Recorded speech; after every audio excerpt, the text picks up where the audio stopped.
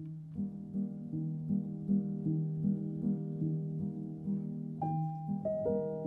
En esta sala empezamos a abordar el periodo de los años 20. Eh, es un momento posterior a la Primera Guerra Mundial en la que eh, la actitud de los europeos es de vivir el momento, ¿no? después de la destrucción, el trauma que han sufrido. Y esto se va a ver eh, remarcado además pues, por la cultura del ocio que genera pues, la alternancia entre fábrica y ocio de la cultura industrial, pues, la llegada de la influencia del jazz, del tango. Eh, y además eh, pues con una relajación de las costumbres que produce pues, el crecimiento de las ciudades ¿no? y, y, la migración de, la, de parte de la población del campo a la ciudad. Eh, por otro lado, es un momento en el que eh, eh, se producen tensiones importantes, se ha producido la Revolución Rusa, el movimiento obrero está muy activo también en España, se produce la Semana Trágica, el feminismo empieza a dar sus frutos, en muchos países se va a conseguir el sufragio femenino, en España esto no se produce hasta la República, pero sí se consiguen algunos avances como el acceso a la educación superior para las mujeres o el acceso a la función pública, lo que va a dar a muchas mujeres por cierta autonomía para eh, llevar una vida pues, más, más independiente. Y con todo esto eh, vemos la aparición de lo que Alejandra Colantay llama una nueva mujer, eh, que ella considera que es necesaria para construir una, una nueva sociedad. esta nueva mujer se viste, como vemos, de una manera muy diferente. Em, vemos un vestido muy suelto, muy tubo, eh, que de alguna manera es heredero de todas estas reivindicaciones que habíamos visto eh, eh, durante la Belle Époque del traje reforma y que por primera vez, y esto es algo totalmente revolucionario, va a enseñar las piernas y no solo enseña las piernas, sino que también enseña los brazos, en los espacios de, de baño, en relación con la moda de baño, lleva un bañador, es decir, la relación y la presentación pública del cuerpo va a ser muy diferente.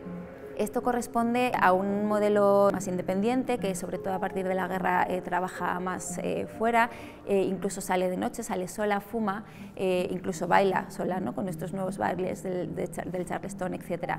es un modelo femenino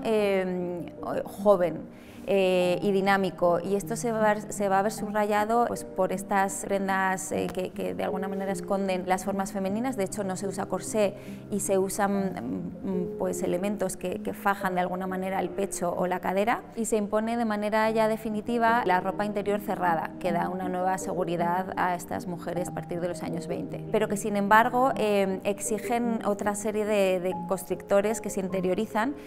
como puedan ser la dieta, eh, o el ejercicio, porque hay que ser joven y muy atlética para poder llevar estos trajes. Eh, esto también, estos nuevos constrictores también se reflejan en el auge de la cosmética, que en este momento pues, empieza a desarrollarse mucho en, relación con la ciencia y de hecho pues, aparecen muchos eh, pues, salones de belleza,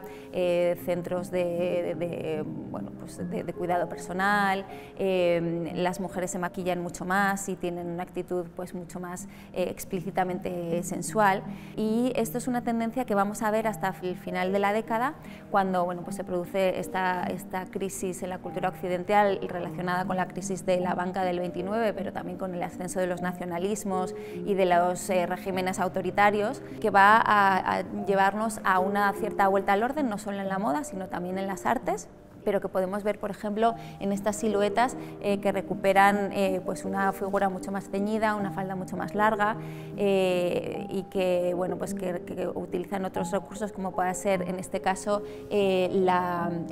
corte al bies que, que impulsa Madame Bionnet. Eh, y eh, también pues, la vuelta a, otros elementos como pueden ser el corsé que impulsa eh. Es significativo que algunas de las personas que van a marcar la moda de este momento van a ser diseñadoras mujeres. destaca el caso de Bionet que hemos nombrado, pero también es muy importante el de otras mujeres como, como Lanvin o como Sonia Delaunay, que abre una casa en Madrid, y especialmente el de Coco Chanel, que va a plantear una moda para las mujeres eh, basada en el sport, eh, en las prendas de punto y eh, además un uso pues ya muy habitual del pantalón, con el objetivo, según ella, de liberar el, el, cuerpo de las mujeres. Con los conflictos de los años 30, la guerra civil en España y la Segunda Guerra Mundial a continuación, pues esta vuelta a un modelo más conservador pues se, va, se va a remarcar. especialmente en España, bueno, pues el modelo de, ángel del hogar se vuelve obligatorio para las mujeres y es el que marca pues la doctrina de la sección femenina pues con declaraciones como las de Pilar Primo de Rivera, que habla de que las mujeres no tienen capacidad creadora porque esto es algo que Dios reserva a los hombres o que su búsqueda a lo largo de la vida es siempre someterse a los varones. Este va a ser el modelo que impone el régimen. Y esto se va a corresponder a unas formas mucho más contenidas, mucho más moderadas, más influenciadas también por lo militar, con unas eh, hombreras más marcadas eh, y además eh, por la restricción de determinados materiales, como pueda ser la seda. Y contra esto, contra lo que va a reaccionar de manera totalmente consciente la Cámara de la Alta Costura francesa cuando va a lanzar el New Look, que lo que pretende es volver a una moda mucho más sensual que eh, recupere un poco el impulso de, la industria de la, moda en Francia eh, y que eh, va a estar relacionada con estas faldas de nuevo con muchos metros de tela, ¿no? o sea, pues con una actitud mucho más sensual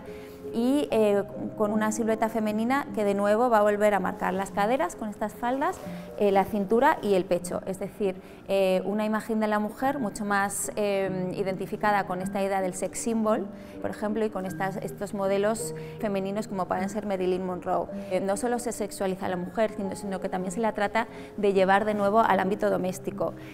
otro icono de la época sería Mamie Eisenhower, la, la mujer del presidente Eisenhower, que no solo lleva estas prendas, sino que además es muy aficionada al rosa y es ella quien de alguna manera lo pone de moda y lo relaciona con una feminidad pues muy retardataria eh, porque también se, eh, se, la identifica con declaraciones del tipo eh, yo tengo una carrera, mi carrera es mi marido. Es decir, se produce una voluntad desde los ámbitos políticos y también mediáticos de devolver a la mujer al entorno doméstico y de los cuidados para que estos hombres que han vuelto del, del frente puedan volver a,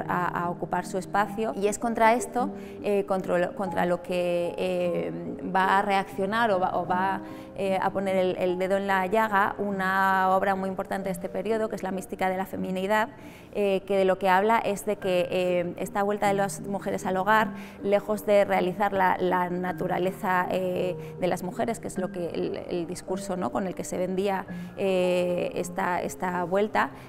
lo que hace es alienar a estas mujeres y crearles una situación de ansiedad eh, con la que además se van a ver identificadas eh, miles de mujeres porque eh, esta obra que viene de una escritora que hasta este momento era bastante desconocida, Betty Friedan, se va a convertir rápidamente en un bestseller y aquí es donde vemos que ha puesto el dedo en la llaga y además que se va a convertir en, nuevo, en un impulso para una, una nueva ola feminista en la cultura occidental.